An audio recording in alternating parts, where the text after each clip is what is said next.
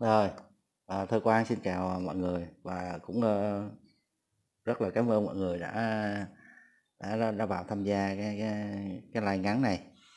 Thì um, ở đây Thơ Quang đây có cái chủ đề là vấn đề là với cái tình hình dịch Covid uh, nó nó bùng phát lại ở cái uh, khu vực xung quanh uh, nước chúng ta, đặc biệt là cái anh uh, Ấn Độ đúng không ạ?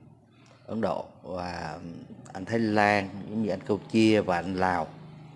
Thì ở đây um, thơ quan cũng xin giải thích là tại sao mà thơ quan dùng cái cái cái, cái bài nhạc đó cái bài nhạc của uh, bắt cùng chúng cháu hành quân á. Thì uh, nếu mà xét theo một góc độ nào đó, đó thì mọi người cũng uh, thấy rõ đúng không ạ? Là cái cái dịch covid nó cũng đâu có khác gì cái cái cái cái cái, cái giặc mà nó xâm lược nó việc làm âm thầm vào đúng không ạ. Vào các đất nước vào các uh, con người. Cho nên là và cái uh, cái chuyện ở Việt Nam chúng ta thì chỉ có một đảng lãnh đạo đúng không ạ? Và xuyên suốt theo cái cái cái chuyện uh, cái cái uh, đường lối của đảng cộng sản. Thì tại sao nó lại thơ quan lại đưa vào điều đó vào? Thì uh, trước nhất thì thơ quan xin xin đọc một bài xin đọc một bài và đang họ đang nói về cái tình hình ở bên Ấn Độ đó. Thì dưới như Ấn Độ thì các bạn cũng ờ, mọi người cũng biết đó đúng không ạ? À, Ấn Độ là một cái nước ờ, đa đảng đúng không? Thì cũng vận hành theo các bang phân chia ra các bang quyền lực phân chia ra các bang nó nó nó có một cái gì đó nó gần gần giống Mỹ đúng không ạ? À, thì thưa quan trước tiên là xin đọc cái đó và một lát nữa còn một bài nữa thì ờ, với bên Ấn Độ là, là nhiều người đặt vấn đề là bây giờ là tại sao mà người dân Ấn Độ lại ờ, bị vỡ trận như vậy và hầu như là thất thủ? Và những người mọi người thì lại quy cho rằng là um, do thiếu oxy thiếu cái nguồn oxy cung cấp á. Thì đó thiếu cái nguồn oxy cung cấp thì mọi người cũng biết rồi cái con covid này nó làm cho phổi người ta đông đặc thì dẫn đến là không thở được và sẽ ờ, đưa đến cái câu chuyện là tử vong. Thì ờ, có một bài phân tích về điều đó thì tôi quan xin đọc cho mọi người nghe. À, oxy thứ tối cần thiết ở Ấn Độ lúc này. Họ đặt dấu hỏi thì có nghĩa là có phải đúng không ạ? À, một ngày có hơn 300.000 ca nhiễm mới thiếu hụt giường bệnh là chuyện dễ hiểu.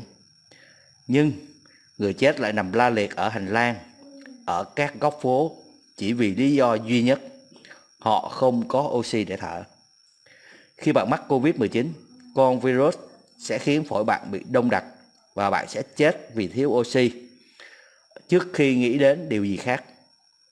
Và điều đó đang khiến Ấn Độ rơi vào khủng hoảng trầm trọng. Vậy, câu hỏi đặt ra là Ấn Độ có thực sự thiếu oxy hay không? Câu trả lời là không. Vì năng lực sản xuất oxy hàng ngày của Ấn Độ có thể lên đến 7.100 tấn con số này có thể tăng lên nhiều nữa nếu tái khởi động các dây chuyền cũ và vận hành tối đa công suất 24 trên 7 của các nhà máy hiện tại. Nhưng lý do vì sao các bệnh viện vẫn thiếu hụt trầm trọng lượng oxy? Lý do có thể được hiểu như sau. Một, oxy không phải là thứ để vận chuyển. Nó có thể gây ra cháy nổ bất cứ lúc nào. Vận chuyển nó phải có quy trình cực kỳ nghiêm ngặt và điều đó khiến hàng sẽ lâu đến với các bệnh viện hơn. 2. Các nhà máy sản xuất đặt rất xa trung tâm thành phố và còn nằm rải rác ở các bang khác nhau.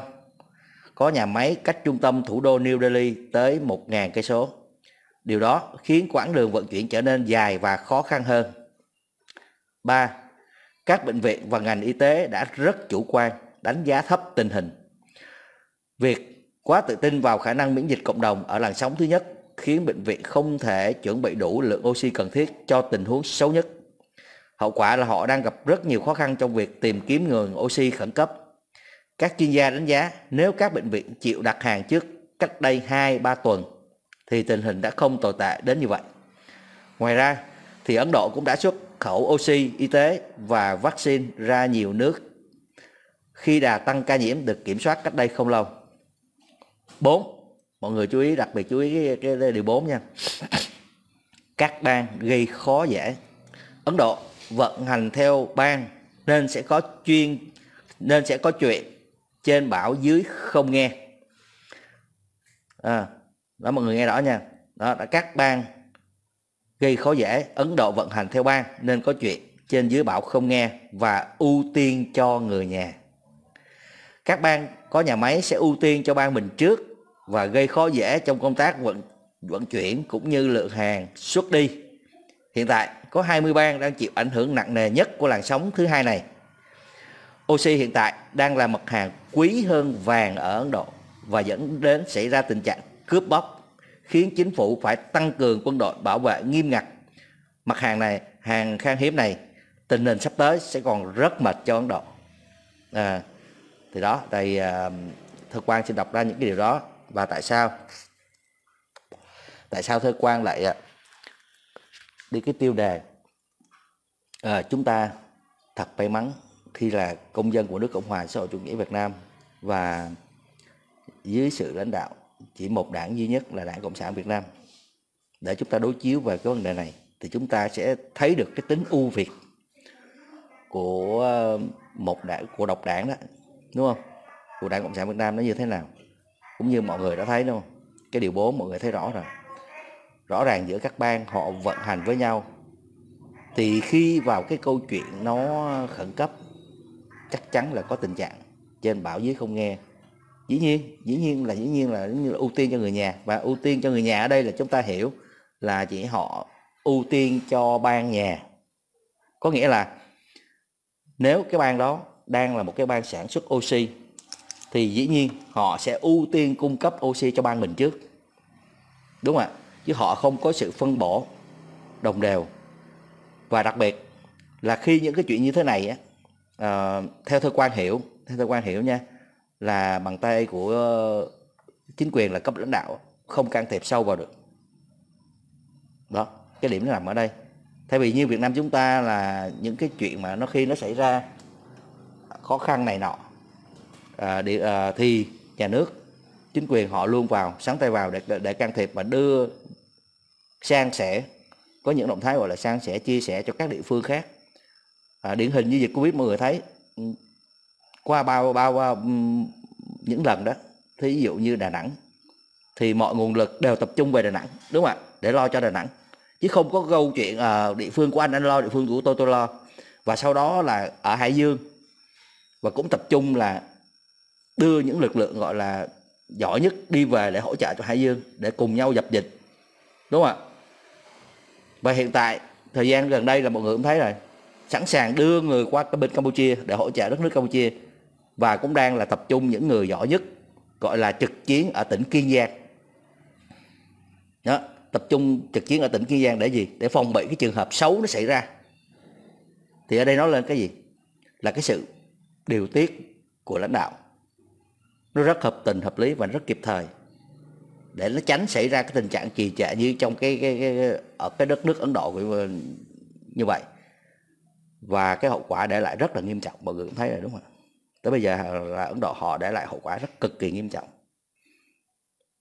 Đó thì ở đây rõ ràng cái vai trò lãnh đạo của đảng và cái sự điều tiết cái sự thống nhất đặc biệt là cái sự thống nhất nó cực kỳ quan trọng trong những cái cái tình huống khẩn cấp như thế này. À, cái bài học chúng ta ở đây đã nhìn ra thấy là không riêng gì Ấn Độ trước đây cũng vậy. Những đất nước ở nhiều châu Âu hoặc Mỹ cũng thế. Cũng chính vì những cái ờ, trong cái công việc quản lý của đa đảng nó có những cái ờ, bất cập. Và nó dẫn đến tình trạng là tình hình cái dịch covid nó bùng phát rất là lớn. Cái điều đó đã chứng minh qua cái thực thực tiễn và những cái con số cụ thể. Đúng không ạ mọi người? Cái chuyện đó không chối cãi được. Không thể nào chối cãi được cái vai trò là lãnh đạo của của, của, của đảng ở đây cả. Đó đó là vấn đề thứ nhất. À, còn cái vấn đề thứ hai thì thơ quan cũng muốn chia sẻ với mọi người là trước đây đúng không ạ thơ quan có từng nói đề cập tới những cái um, cái kênh truyền thông à, phản động ở ờ, ở mỹ ấy, ở nước ngoài mà cụ thể là ở mỹ à, thơ quan có đưa ra cái câu chuyện là họ vì cái mục đích cá nhân. Đó vì mục đích cá nhân. Khi tình hình dịch covid xảy ra thì họ lên không gian mạng. Họ rêu rao là họ tuyên truyền là không có con covid không có thật. Và hô hào xúi dục mọi người đi xuống đường để ủng hộ bầu cử tổng thống Trump gì đó. Đúng không ạ?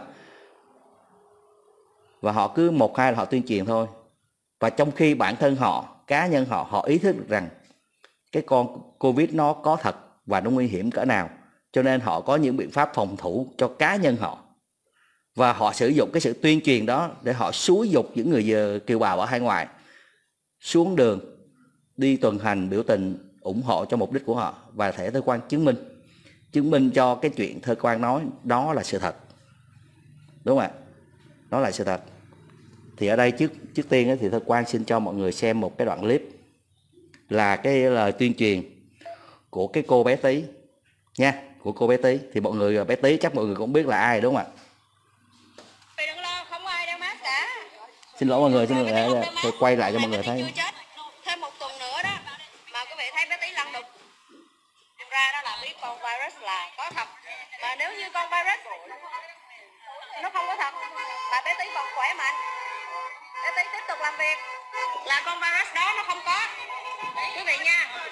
Đây à, à bây giờ là bé tí đặt đây thời quan cho mọi người xem lại nha. Xin lỗi mọi người. Nó bị chạy rồi. Để xem lại cho cho nó rõ từ nãy chưa quay màn hình ngang qua